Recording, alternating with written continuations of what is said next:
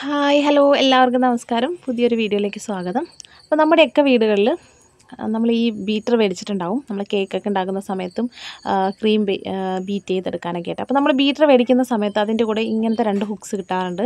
അപ്പോൾ ഇത് എന്തിനാണെന്ന് കുറേ പേർക്കൊന്നും അറിയില്ല. ഇത് നമുക്ക് മാവ് കുഴയ്ക്കാനുള്ളതാണ് കേട്ടോ അപ്പോൾ ഇതുകൊണ്ട് കറക്റ്റായിട്ട് കുഴയ്ക്കാൻ പറ്റുമെന്ന് നമുക്ക് നോക്കാം. അപ്പോൾ ഞാൻ ഈ ഹുക്സ് ആദ്യം തന്നെ ഇതിൽ പിടിപ്പിക്കുന്നുണ്ട്. അപ്പോൾ അതിൽ ഹോൾസിലേക്ക് ജസ്റ്റ് കയറ്റി വെക്കേണ്ട കാര്യമുള്ളൂ അപ്പോൾ അതാ നമ്മൾ പിടിപ്പിച്ചു. ഇനി നമുക്ക് മാവൊക്കെ ഒരു ബൗളിലേക്ക് എടുക്കാം. അപ്പോൾ എപ്പോഴും നമ്മൾ ബീറ്റ് ചെയ്യുന്ന സമയത്ത് അല്പം കുഴിയുള്ള ഒരു പാത്രം എടുക്കുന്നതാണ് നല്ലത്. അപ്പോൾ നമുക്കിതിലേക്ക് പൊടി ചേർത്ത് കൊടുക്കാം. ഞാനിപ്പോൾ പൂരിക്കുള്ള ഡവാണ് തയ്യാറാക്കുന്നത്. അപ്പോൾ അതിന് കുറച്ച് ഗോതമ്പ് പൊടി ആദ്യം ചേർത്ത് കൊടുക്കാം. പിന്നെ കുറച്ച് മൈദയും ചേർക്കുന്നുണ്ട്. അതുകൂടാതെ കുറച്ച് റവ കൂടി ചേർക്കുന്നുണ്ട് കേട്ടോ. അപ്പോൾ കുറച്ച് റവയും കൂടി ചേർത്തുണ്ടാക്കുമ്പോൾ നമുക്ക് അധികം ഓയിലൊന്നും ഇന്ന് ഓയിൽ കുടിക്കുകയൊന്നുമില്ല അപ്പോൾ അങ്ങനത്തെ കാര്യങ്ങൾക്കാണ് നമ്മൾ റവ ചേർക്കുന്നത്. പിന്നെ നമുക്ക് ആവശ്യത്തിന് ഉപ്പ് ചേർത്തിട്ട് ഇതിനെ ഒന്ന് മിക്സ് ചെയ്തെടുക്കണം. അപ്പോൾ അതാ നമ്മൾ മിക്സ് ചെയ്തു. അപ്പോൾ ഇത് നമുക്ക് കൈകൊണ്ട് കുഴച്ചെടുക്കാനുള്ള അത്രയും വലിപ്പമില്ലാത്തൊരു പാത്രമാണിത്. കാരണം ബീറ്റർ വർക്ക് ചെയ്യണമെങ്കിൽ കുറച്ച് കുഴിയുള്ള ടൈപ്പ് തന്നെ വേണം. അപ്പോൾ നമ്മളിത് മിക്സ് ചെയ്തു. ഇനി നമ്മൾ ഇതിലേക്ക് വെള്ളം ഒഴിച്ച് കൊടുക്കണം കേട്ടോ. ഞാൻ ആദ്യം ഒരു ഗ്ലാസ് വെള്ളം ഇതുപോലെ ഒഴിച്ചു കൊടുത്തിട്ടുണ്ട്. ഇനി നമുക്ക് ബീറ്റർ ഓൺ ചെയ്യാം. നമുക്കൊന്ന് ബീറ്റർ ഒന്ന് കറക്കി കഴിയുമ്പോൾ തന്നെ നമുക്ക് വെള്ളം ഇനി വേണമെന്ന് മൻ വേണമെന്ന് അറിയാനായിട്ട് പറ്റും. അപ്പോൾ ഇതാ കണ്ടില്ലേ?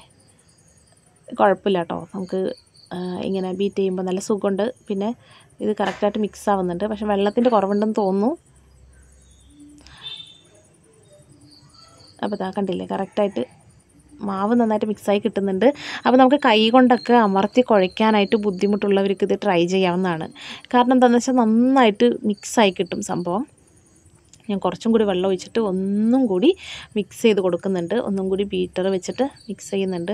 പിന്നെ ഇതിന് അധിക സമയമൊന്നും വേണ്ട എന്നുള്ളതാണ്. പെട്ടെന്ന് തന്നെ നമുക്ക് ഇതുപോലെ ആയി കിട്ടിയിട്ടുണ്ട്. ഇനി നമ്മൾ ഇതിനെ ഒരു മിക്സ് ചെയ്തെടുക്കേണ്ട ഒരു പരിപാടിയുണ്ട്. അത് നമുക്ക് കൈകൊണ്ട് തന്നെ ചെയ്യണം.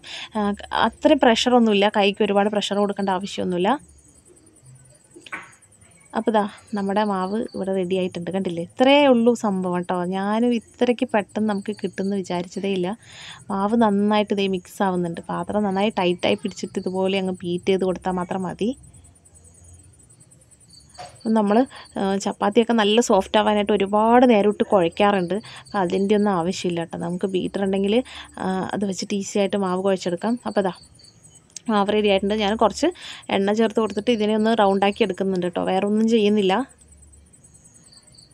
അപ്പോൾ നമ്മൾ പൂരി ആയതുകൊണ്ട് അത്ര കട്ടിയൊന്നും വേണമെന്നില്ലല്ലോ. അപ്പോൾ ഇതാ കൈ വെച്ച് ഒന്ന് ജസ്റ്റ് ഇങ്ങനെ ആക്കി എടുക്കുന്നുണ്ട്. നമുക്ക് ഒരുപാട് നമ്മുടെ കൈപ്പത്തിയിട്ട് കുഴച്ചിട്ടുള്ള പ്രശ്നങ്ങളൊന്നുമില്ല. ഇനി നമുക്കിതിനെ ചെറിയ ബോളുകളാക്കിയിട്ട് മാറ്റാം. ഇനി നമ്മൾ സാധാരണ പൂരി ഉണ്ടാക്കുന്ന പ്രോസസ്സ് തന്നെയാണ് കേട്ടോ. നമ്മൾ ചെറിയ ബോളുകളാക്കി മാറ്റിയതിന് ശേഷം ഓയിൽ വെച്ചിട്ടാണ് നമ്മൾ പൊടിയിട്ട് ഒരിക്കലും പരത്തരുത്. അതൊക്കെ എല്ലാവർക്കും അറിയായിരിക്കും. പൊടിയിട്ട് പരത്തിയാൽ നമ്മൾ ചുട്ടെടുക്കുന്ന സമയത്ത് ഒരുപാട് എണ്ണ കുടിക്കുന്നതായിട്ട് നമുക്ക് തോന്നും. അതുകൊണ്ട് ഇത് കുഴയ്ക്കും ഇത് പരത്തുന്ന സമയത്ത് എണ്ണ തന്നെ എടുക്കുക. ഞാൻ കൗണ്ടർ ടോപ്പിൽ ക്ലീൻ ചെയ്തെടുത്തിട്ടാണ് ചെയ്യുന്നത്. എപ്പോഴും പൂരിക്ക് കുഞ്ഞു ബോളുകളാണ് എടുക്കേണ്ടത്.